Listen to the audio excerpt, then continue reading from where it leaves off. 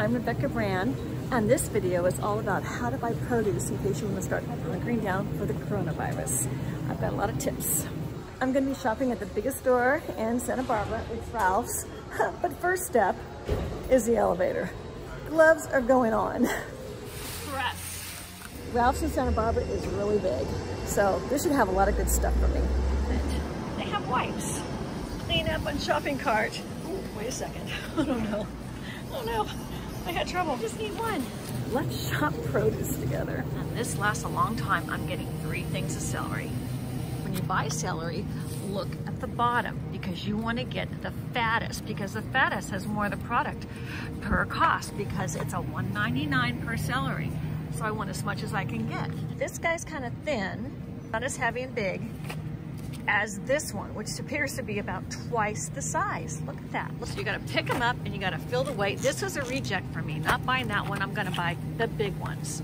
And for freshness, put them in butt up. Because if you go like that and you don't use it for a while, this could get air in it.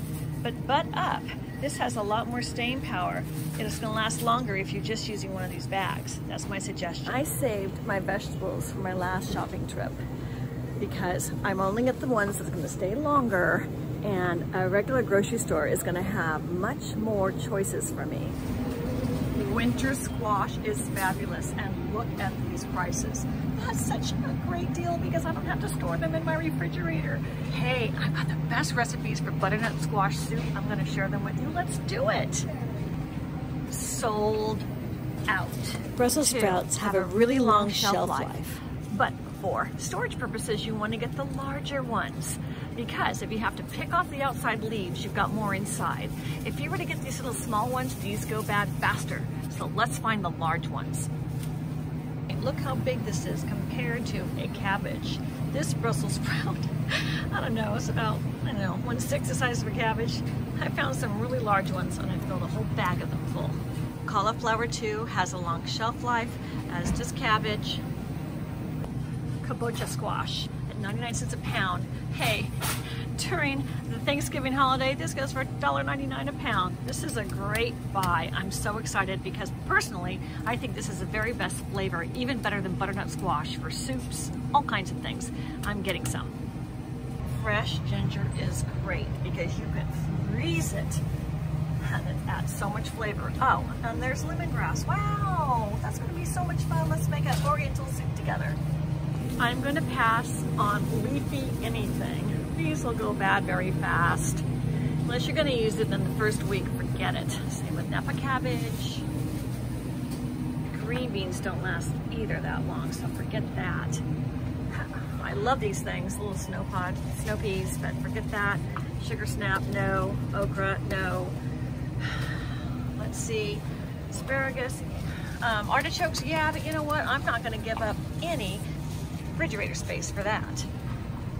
I'm kind of looking for what goes the furthest, and so no asparagus. I love asparagus, but nope. And again, the squash, the thin skins in the squash will not make them last long. They will go bitter in about one week. Okay, same with eggplant. The skins get very bitter.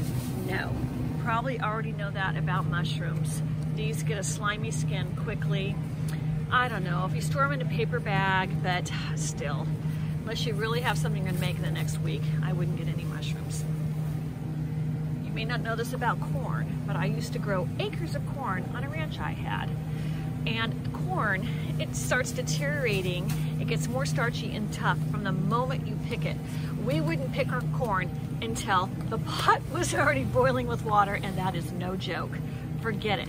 If you're gonna have corn, it's gonna be canned or frozen, and I suggest canned.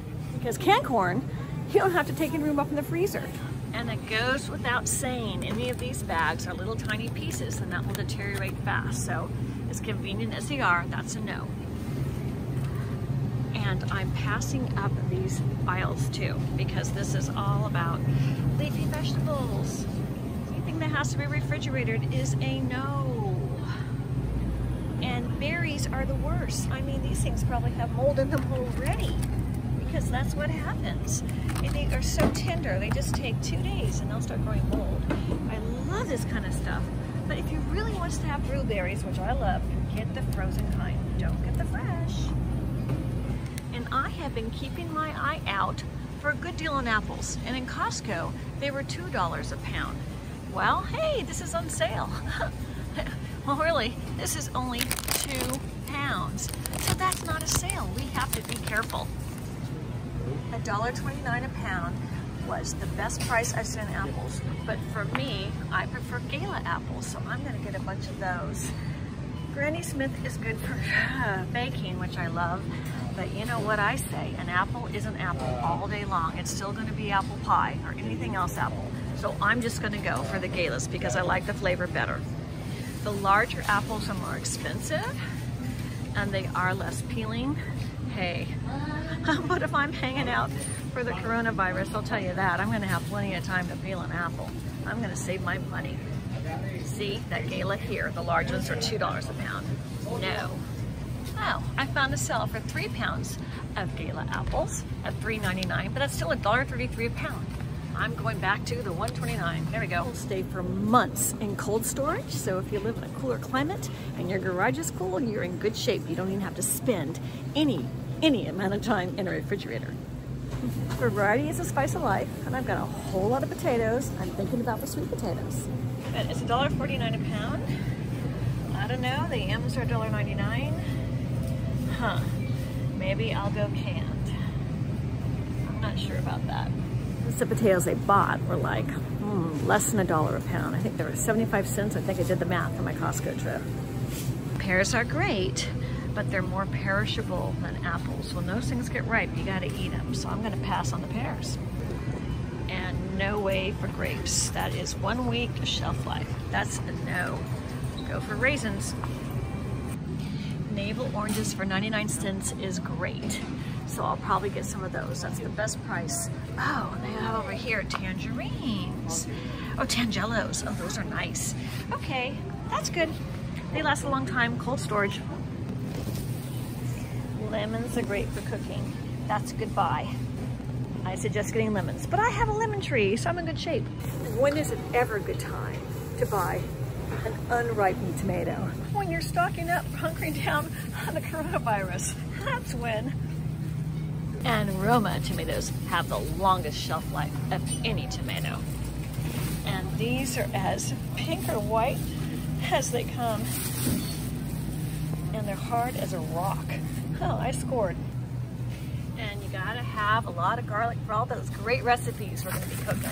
Yay! Two for a dollar. I'm gonna get six. So this is what I have in my cart besides those other things of Costco of the other produce. So I'm Rebecca Brand. Comment and tell me your ideas, uh, what you're gonna buy if you're hunkering down and storing stuff for indefinite periods of time. What recipes do you want me to cook? And thank you for watching, subscribe, and really comment to me and share this. If you find this valuable, tell somebody else. I'm just kind of going at this because it's something I'm, it's important to me. And that is important to you. Makes me feel good. So let me know. Bye. See you next time a total of $81 for all that.